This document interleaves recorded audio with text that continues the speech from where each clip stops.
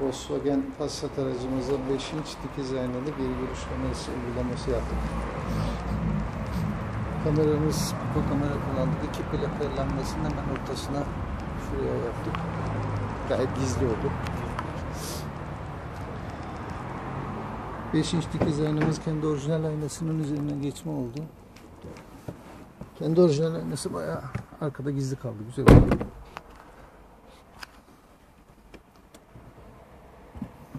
Nereye takıyoruz?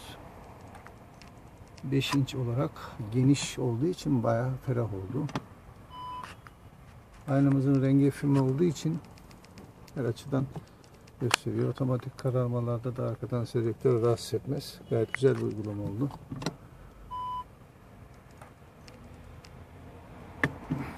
Güle güle kullansınlar.